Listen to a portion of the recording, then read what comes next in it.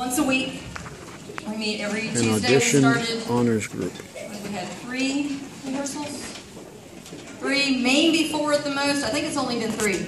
Um, so their hard work will start after the break because they're going to go to Concert Festival and play for some judges at the end of March. So their, their really All hard right. work will start then. But they, uh, it's a lot of fun. It just gives them a chance to play some more music and with a little bit different group because it is a mix of grade level, so they get just a little different look at it. Um, we all kind of panicked earlier because I didn't have practice today because I had a different rehearsal, and so we haven't played this since last Tuesday. Um, I have all the confidence in the world in them. They had it great, but we all kind of hit a moment of panic earlier today, going, um, okay, but we got it. They are going to play you um, White Christmas, and then a short little medley of Silver Bells and Frosty the Snowman.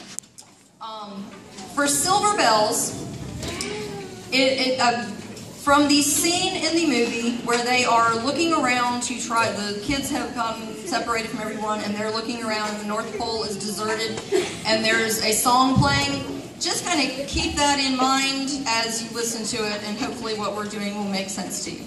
So, wind on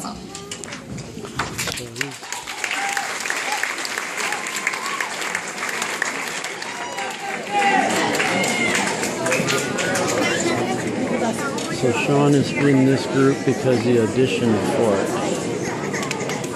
He had to he had to make it through audition. Look, now you get your sound right.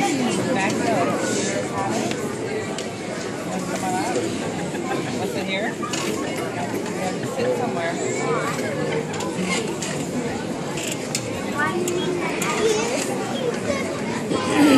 I told you to get to my lap. Get your knees. Get your knees up here. Well, you're on your knees. You're okay. Shawn is the Christmas hat that you can just see above that stand. You see him now? Shawn is see the Christmas hat that's sticking up over the stand? That's Shawn.